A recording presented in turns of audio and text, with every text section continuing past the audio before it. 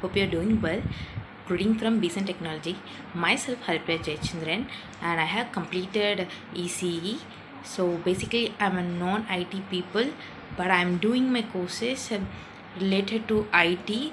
This is possible by Besant Technology as they offer IT related courses even for the non-IT peoples and placement support to us and even the basic student msc student bca student and mca student and bcom ca student and even engineering can join these courses.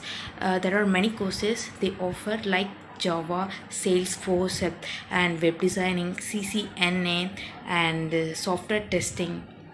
The thing is you have to join this Besant technology